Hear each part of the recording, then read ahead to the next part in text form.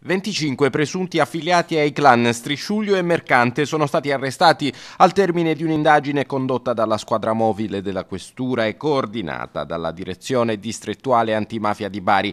Un duro colpo ai clan che tengono sotto assedio alcuni quartieri di Bari. I Mercante sono riferimento nel quartiere Libertà, gli Strisciuglio al San Paolo, insanguinandoli con una guerra di mafia per il controllo del territorio e per allargare le proprie zone di influenza. L'indagine rivela come lo spaccio di droga resti ancora il primo metodo di guadagno per le famiglie criminali del capoluogo, ma anche che le estorsioni sono una vera piaga del territorio barese, una piaga che talvolta impietosisce persino chi la deve eseguire. Da, davvero dell'ingiustizia della, della ehm, odiosità di questo crimine perché parlano di questo ragazzo, del proprietario di questo esercizio commerciale, che è un bel ragazzo, non è un brutto, è un bel ragazzo onesto, perché devo andare a fare la prepotenza?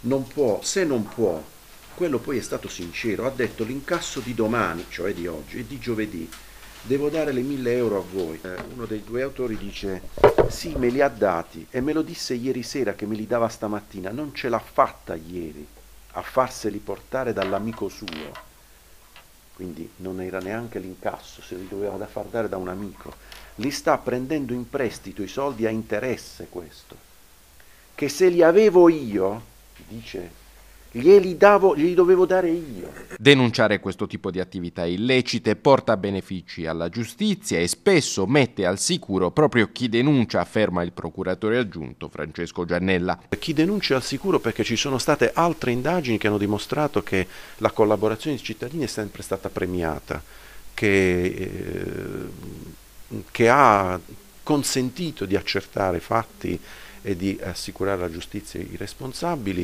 eh, e quindi noi davvero incoraggiamo, tentiamo di eh, stimolare i cittadini a, a collaborare con l'unica giustizia, mm, che è quella dello Stato. I clan fanno e disfano in città, sono per esempio responsabili dell'incredibile numero di furti di automezzi avvenuti anche all'interno del policlinico, ma sono anche coloro che fanno ritrovare una moto ad un medico che dopo il furto si rivolge al boss per recuperarla, ottenendola senza dazioni di denaro. Per il boss però significa guadagnare in termini di influenza. Il, il punto che è un po' fastidioso è che anche una persona di elevata preparazione culturale eh, si sia rivolta ad un eh, boss per riottenere suo, sua, i, suoi, i suoi motoveicoli piuttosto che rivolgersi alla polizia.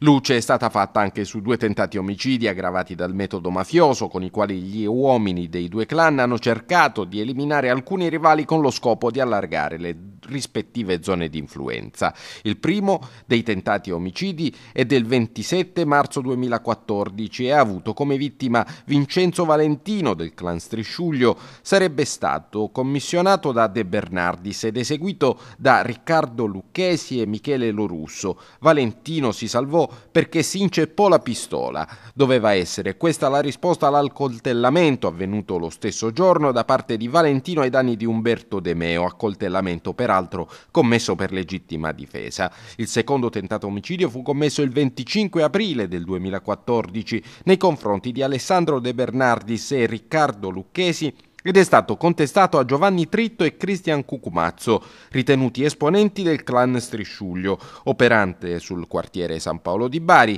ed anche in questo caso la pistola si inceppò.